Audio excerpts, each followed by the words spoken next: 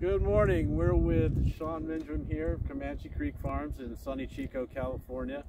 Um, Sean, would you tell us a little bit about this farm? How many acres, types of crops you got going here? Well, Comanche Creek's been around for a little over 22 years. Um, it used to be a little bit down the road, so now we've moved it to a larger farm, which is approximately 50 acres, approximately 40 farmable. But uh, we rotate our crops seasonally.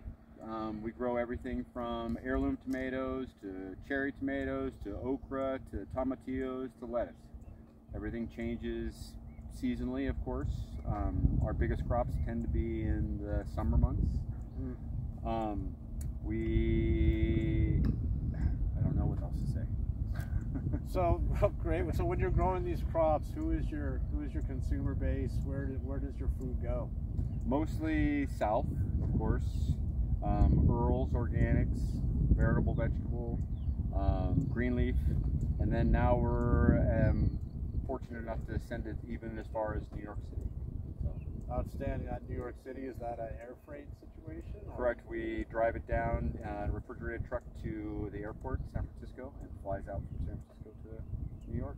Wow, that's pretty far reaching from Chico, California. Well, we, we, we also send it up as far as Seattle, so it's, it's good. Outstanding. And so what do you see this farm's purpose being?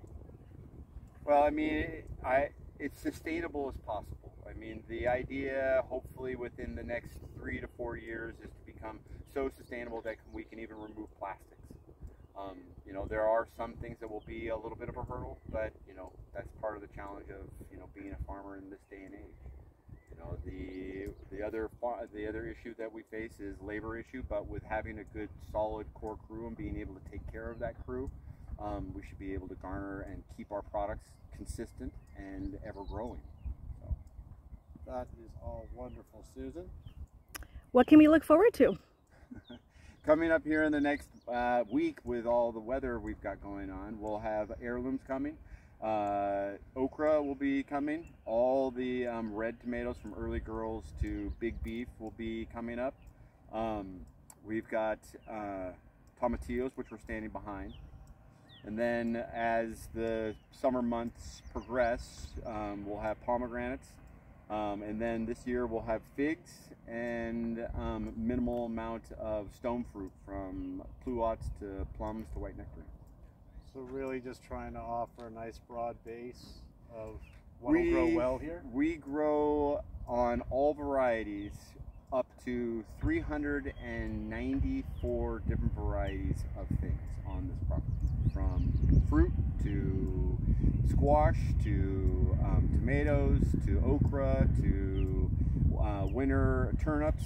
I mean, we pretty much try to grow all seasons and try to be sustainable throughout those seasons that would be why you have such a broad offering. Correct. Yeah. Well, outstanding. Thank you very much. Thank you. Appreciate your time. Thank you.